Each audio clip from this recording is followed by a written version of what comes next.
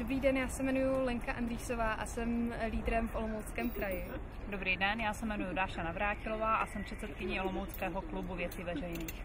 Já jsem členkou klubu Olomoucké věci veřejné a myslím si, že to je jeden z velmi dobře fungujících eh, klubů tady v Olomouckém kraji a všechny bych ráda vyzvala k tomu, aby se k nám připojili, protože řešíme důležité komunální pro, eh, problémy, snažíme se zlepšit situaci v Olomouci.